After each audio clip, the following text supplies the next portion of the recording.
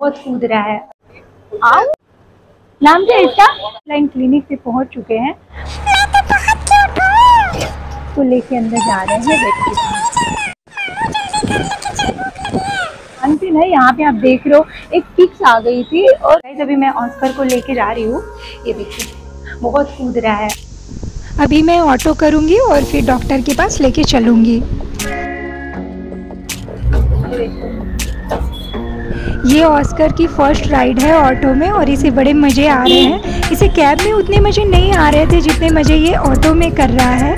काफ़ी कंफर्टेबल है ये। मुझे तो बहुत मज़े आ रहे हैं।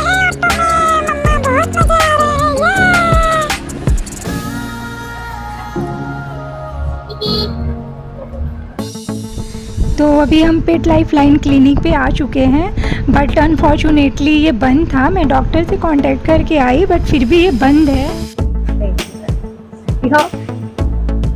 गाइस ये देखो, ये दिगल और ये इसको देख के काफ़ी अट्रैक्ट हो रहा है। नाम क्या इसका? नहीं, अभी इसको लिया है ना तो इसको चेकअप के लिए रूटीन चेकअप था। नहीं। इन्होंने बोला था कि साढ़े पाँच बजे तक खुले रहेंगे। हाँ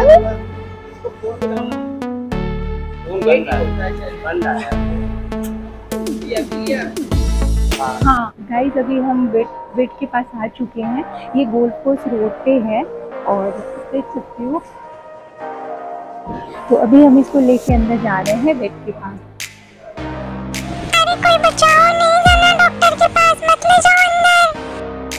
तो अभी हम ऑस्कर को डॉक्टर से दिखा के बाहर आ चुके हैं। एक्चुअली वहाँ वाली क्लिनिक बंद थी तो हमें गोल्फ कोर्स आना पड़ा। ये उन्हीं का सेकेंड ब्रांच था।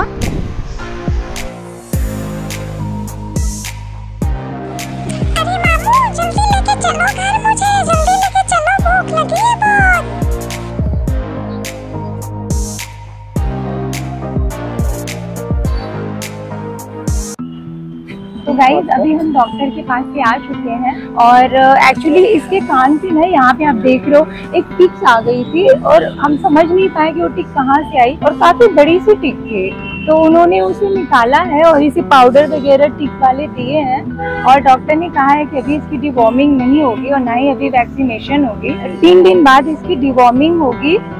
तो अभी हम घर वापस जा रहे हैं और ये देखो अगेन ऑटो में ऑस्कर बैठ चुका है और कितने मज़े से है, कितना एंजॉय कर रहा है। इसे नींद आ रही है एक्चुअली और ये सो रहा है।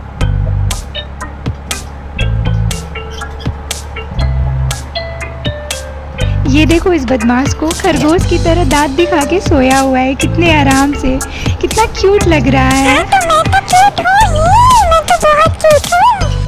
तो हम बेड के पास में आ चुके हैं। गाइस एक चीज़ है कि जो ब्रीडर्स होते हैं, वो कुछ अलग ही बातें बोलते हैं और जो वेट होते हैं, वो कुछ अलग ही बातें बोलते हैं। और ब्रीडर्स ने हमें ये कहा था कि इसे तीन मंथ तक नहलाना नहीं है प्लस इसे four two five time Pedigree Pro देना है। इसके अलावा और कुछ नहीं देना है। बट वेट ने कुछ और ही बताया। वेट ने बोला कि ये 45 डेज़ का हो चुका है, इसे आपको दही भी देना है। दही और केला भी मैश करके दे सकते हो। Fifty gram almost fifty gram देना है। दही और केला या फिर सिंगल आप दही भी दे सकते हो। तो इसके 24 फोर आवर मील में आपको टू टाइम सॉलिड यानी कि पेडिग्री और टू टाइम में दही और अ, केला या ओनली दही आप 50 ग्राम दे सकते हो।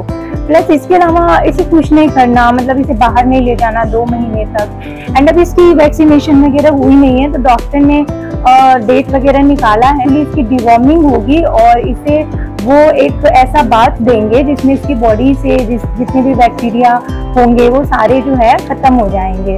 तो ये दोनों चीज़ तीन दिन बाद होगा। एंड उसके बाद फिर वन वीक बाद मुझे जाना होगा फ़र्स्ट वैक्सीनेशन के लिए। मैं वो आपको बाद में अपडेट करूँगी। तो गाइज़ अभी उन्होंने ये कहा है कि आपका पपी हेल्दी है। मेरा लेब्राडोर फोर्टी फाइव डेज़ का है और इसका वेट है फोर पॉइंट एट के जी जो जो कि काफ़ी गुड पॉइंट है। तो मेरा पपी बहुत हेल्दी है। और तो मैं बहुत टेंशन फ्री हो गई हूँ अब।